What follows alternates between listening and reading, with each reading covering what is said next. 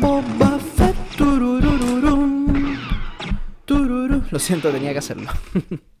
Muy buenas chicos y chicas, ¿cómo están? Bienvenidos a Loom, canal donde analizamos figuras de Star Wars, props, réplicas y mucho más. Chicos, con ustedes la figura de Boba Fett de Titan, la versión, no lo olvidemos, de Mandalorian. Bueno, también se podría decir que es la versión de The Book of Boba Fett en los flashbacks, así que es válido. Esta figura yo la encontré, como dije en el video de Fennec Chan, que lo verán en las tarjetitas por acá. Con mucha suerte lo encontré en el Persa Bio Bio acá en Chile. Así que ahora, sin dilatar más, una vez hecho el unboxing en cámara, vamos allá a analizar esta gran figura. Bueno, estimado público, lo primero que me encantó de esta figura es su capa de tela. Su capa de tela, su túnica, que es la túnica que le regalan los Tuscan. Lo primero que les puedo decir es que esta túnica está pegada a su cuerpo. Algo que no me gusta mucho, pero entiendo que puede ser una decisión más bien práctica, porque eh, si no hubiera sido así, esta túnica quizás hubiera estado muy suelta del personaje. El diseño del personaje en sí, la cara está pero perfecta, creo que es la cara más real de Temuera Morrison que hemos tenido. Quizás exceptuando por el caso de los clones, por ejemplo, el nuevo Capitán Rex de la versión de Bad Batch, que lo verás en las tarjetas por acá. Ese también tiene una cara muy similar a lo que era Temuera Morrison en el año 2002-2005. Sin embargo, si nos remitimos a la fecha de hoy día, este es sin duda el Temuera Morrison más real que he visto en persona. El parecido es impresionante. Me gusta que en lo que es la cara del personaje tiene bastantes cicatrices, como vimos en las dos series, tanto en la segunda temporada de Mandalorian, como también en la primera temporada de The Book of Boba Fett en los flashbacks. Tiene un poco de weathering en la cara, en la piel, como si hubiera sido quemado. Y claro, esta figura, este personaje estuvo quemado. Yo creo que podría haber sido más incluso. Yo lo habría hecho más weathering en la cara para parecerse más a lo que vimos en pantalla. Si corro un poco la túnica, se ve el interior que está muy bien diseñado. O sea, realmente, súper sincero. Para ser una figura que está tapada en su totalidad, es muy impresionante el nivel de detalle que tiene internamente. Están los cargadores de munición de lo que son los rifles cicladores de los Tuscan, que estos recordemos que usan un tipo de munición, no es necesariamente el mismo blaster o láser que conocemos generalmente en las armas de Star Wars. También tiene su estuche para su pistola, tiene esta mini falda, por así decir, o faja, que es de plástico. Es un plástico blando, así que no molesta para la articulación. Y puede mover ambas piernas de forma horizontal en los muslos. Y tiene articulación en las rodillas, curiosamente. No tiene doble articulación, pero sí tiene una articulación simple y que permite el movimiento horizontal desde la rodilla, pero también desde la canilla. Así que está muy bien eso. Así si yo se los muestro a ustedes a simple vista, ustedes me podrían decir, oye, se ve bastante tieso en las piernas. Yo les puedo decir que no es así, tiene movilidad. En lo que son los brazos, no podría decirles a ciencia cierta si tiene articulación de mariposa. Me parece que sí, me parece que sí. Se ve un poco limitado por el cuerpo muy voluminoso del personaje y por la túnica.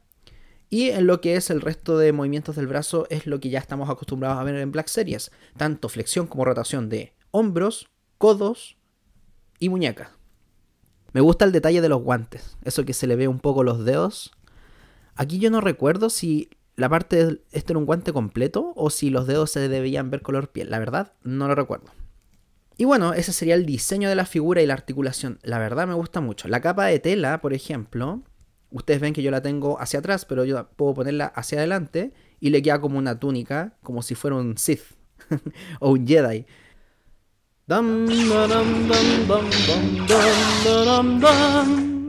Pero esta básicamente no tiene nada que ver con los Sith y los Jedi. Esto netamente es la ropa que le regala los Tuscan. Y es una. Es una vestimenta muy rudimentaria y práctica que se usa Tatooine. Y que en la vida real se suele usar en los desiertos. Las túnicas, las capuchas, etc. Porque en el desierto no solamente hace calor, también hace frío y hay mucho viento. Las armas. Curiosamente esta figura trae tres armas y no la hicieron deluxe. Estoy sorprendido gratamente con Hasbro al no hacerle una deluxe, menos mal. O mejor dicho, al no cobrar el precio de una deluxe. Como les digo, vamos a partir con su rifle ciclador que es maravilloso. Yo tengo una figura de Tascam pero no la he abierto, así que no sabría decirle si es el mismo rifle ciclador, pero me gusta mucho el diseño, es un arma poco convencional respecto a lo que estamos acostumbrados a ver en Star Wars. Tiene una tira que se le puede colocar a Boba, como verán en el video, en el hombro, como que la va llevando, y también la puede portar en sus brazos como si fuera a atacar. También tiene este blaster, este blaster simple, muy diseño a la antigua, acá en el planeta Tierra, y el cual cae bien en su estuche, así como también puede ser usado por el personaje, como verán en pantalla, sin problemas. Y por último, mi accesorio favorito, el tercer accesorio, es su báculo o palo o como quieran llamarlo, yo lo voy a llamar báculo desde ahora, Tascan. Me encantó, me encantó el diseño, me encantó que viene con esta cuerda para poder también llevarlo colgado. Se ve que le pusieron mucho cariño a esta figura, a diferencia de lo que hemos visto en algunas, algunos lanzamientos de este tipo en Black Series.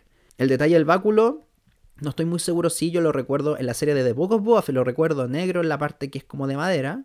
Aquí lo hicieron café.